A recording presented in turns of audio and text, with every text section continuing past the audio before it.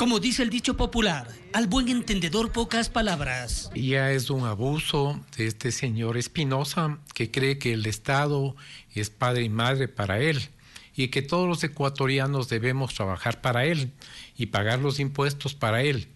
Aquí hay una actitud para no tener acuerdos. Aquí hay una actitud de desestabilizar, de desestabilizar en general todo y sumarse a otras fuerzas que están trabajando en plantearle una, una, agenda que no ganó las elecciones. Esta es la respuesta de Víctor Hugo Albán del Colegio de Economistas de Pichincha y Francisco Rocha de la Asociación Ecuatoriana de Editores de Periódicos frente a las declaraciones de Gary Espinosa, presidente de la Confederación Nacional de Organizaciones Campesinas Indígenas y Negras Penosín, que ahora sale con una nueva. Que ese decreto diga que si algún compañero debe más de 15, más de 10 mil dólares 15 o 20 mil, que se le condone los 10 y el resto salga para reprogramación. De ahí que exhortan al presidente Guillermo Lazo poner mano dura. Yo creo que el presidente de la República está claro, es un banquero y sabe que el patrimonio técnico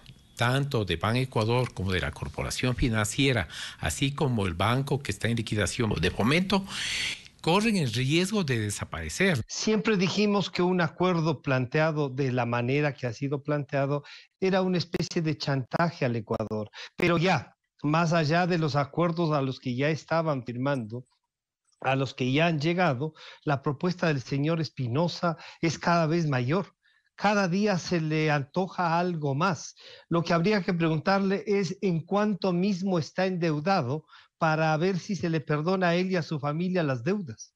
Esto cuando el régimen tiene que firmar en esta semana el decreto ejecutivo para que la condonación de deudas en la banca pública ya no solo sea de 3 mil dólares, sino de 10 mil, informó Héctor Romero.